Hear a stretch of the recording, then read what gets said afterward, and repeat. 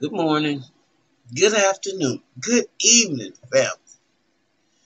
Welcome, welcome, welcome to this damn mental house with me, your illustrious host, Khadijah. Um, I'm gonna make this a little simple, and I'm talking to a specific group, and you should know who you are by now. Okay. Um, how many of y'all have ever been in a car wreck out there? How many of y'all have ever been into a car wreck?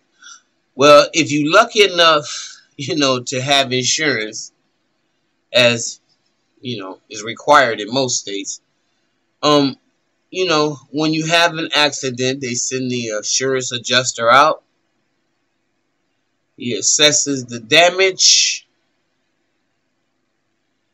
Um, and decides, um, you know, hey, what should we do with this problem? So either the car is going to be put in for repairs or your vehicle is a total loss. Am I right? And if it is a total loss, then it can only probably be used for spare parts. Now, I want you to just think about this. Okay?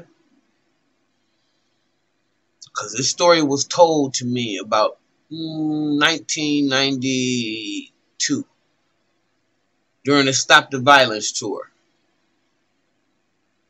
So, I want to relive that right now for some of y'all was barely born, some of y'all wasn't born but if you don't know and you didn't know, um, the black male organs fit in everybody. In anybody. Well, of course, except a baby. But you have the most chance of surviving with those type those organs. Thus, you see the original the black man always um, involved in um, killings and and death. And in a lot of these deaths, black women as well. But the number one is black men. My memory serves me correctly.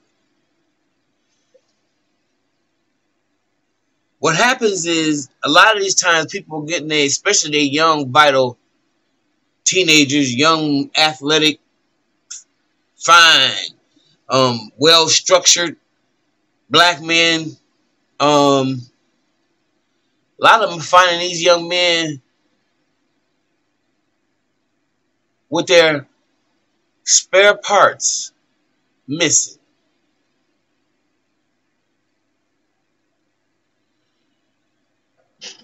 This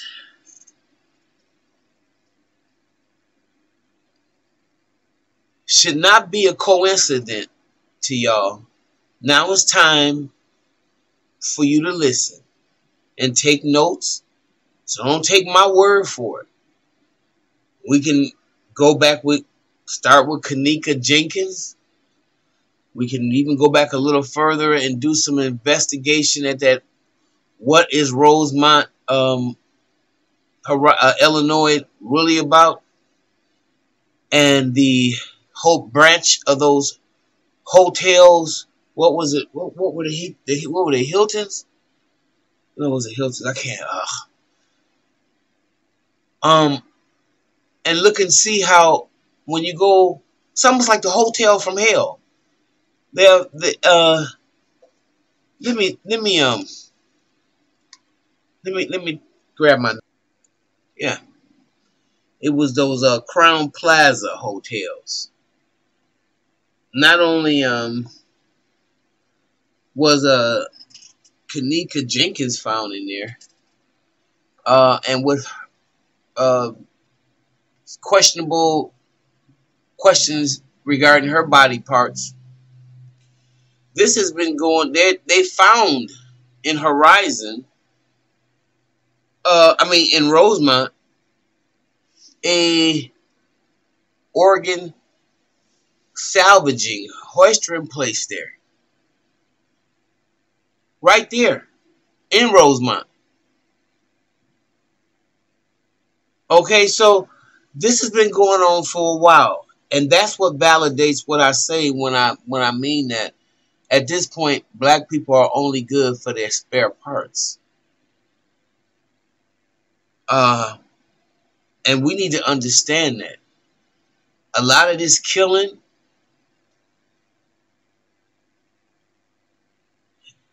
that's being blamed on us, a lot of it is us. Uh, because the machine is, is in full effect now. It's like self-perpetuating.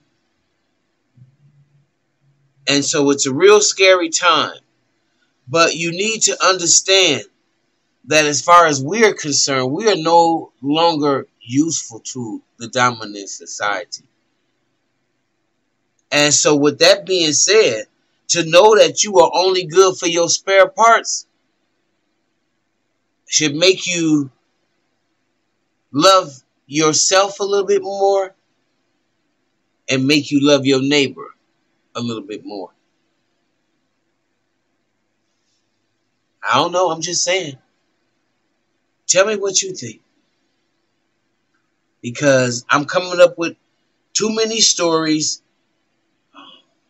Just like um, uh, uh, Day.